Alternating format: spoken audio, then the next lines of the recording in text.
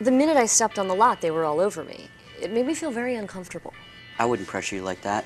I just tell you that during the Honda Summer Clearance, you can get a great deal on a Honda. It's my job to be helpful. Can you help me teach a class? Start by taking off your shirt. But I'm not supposed to take off my shirt. Okay, just take off the shirt. And can you try flexing a little bit? I am.